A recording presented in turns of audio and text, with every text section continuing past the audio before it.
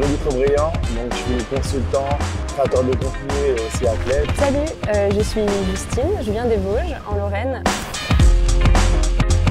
J'ai commencé à courir euh, des trails puisque ma grand-mère faisait aussi des ultra-trails, donc j'ai toujours baigné dans ce quotidien-là.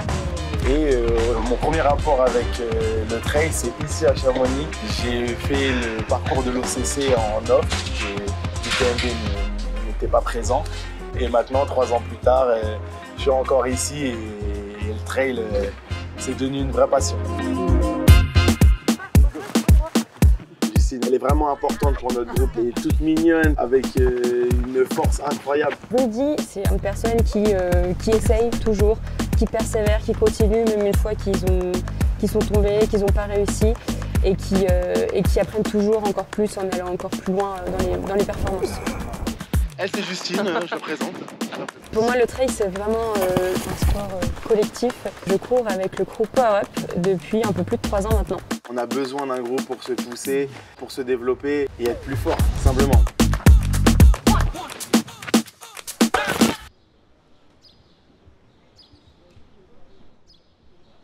Donc, J'étais sur la CCC l'année dernière et ça a été une, une journée, voire une semaine très très intense.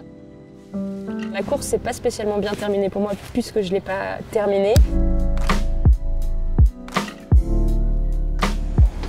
J'avais l'impression d'être plus triste euh, qu'elle en gros à ce moment-là.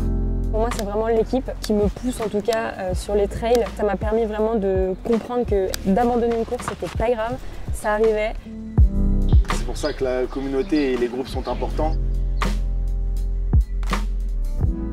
Cette année à l'UTMB, je serai là pour supporter mon équipe et tous les autres coureurs.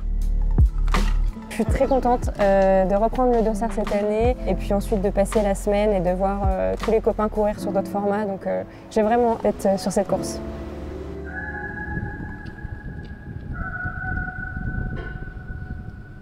Socialement, il y a des parties du trail qui ne sont pas très cool.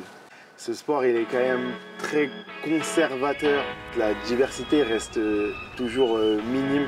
Quand je suis sur une ligne de départ et que je regarde un peu autour de moi, euh, je suis souvent seul. Il y a des moments où, justement, il y a des photographes qui refusent de me prendre en photo. Ils baissent leur objectif au moment où je vais passer. Et il y a d'autres moments où les supporters sur le côté ne vont plus me supporter au moment où j'arrive. Je vais plus vivre ce genre de choses.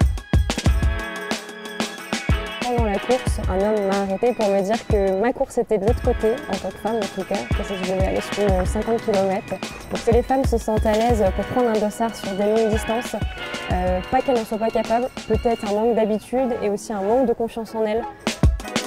Euh, mais sinon, la communauté est, moi, je trouve bienveillante et de plus en plus inclusive euh, avec les femmes. On peut, être, petit, tout fin, grand, gros. Ça change rien à l'effort, ça change rien à la passion qu'on peut partager autour du sport. Je pense qu'il faut juste courir euh, comme on a envie, avec le cœur et c'est simple. Dans les années qui vont venir, euh, on voulait justement ouvrir un peu plus le trail euh, à le plus de personnes possible. On voulait ouvrir la montagne. Like so pure. You can't fake it. Simplement éduquer la future génération, euh, les faisant venir ici et qu'ils comprennent que la montagne c'est aussi cool que la plage.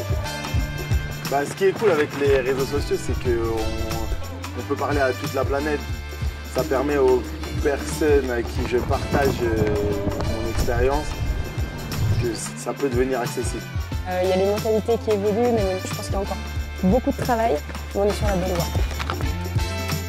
Dans les années qui vont venir, euh, ça va forcément changer et on va aider à ça.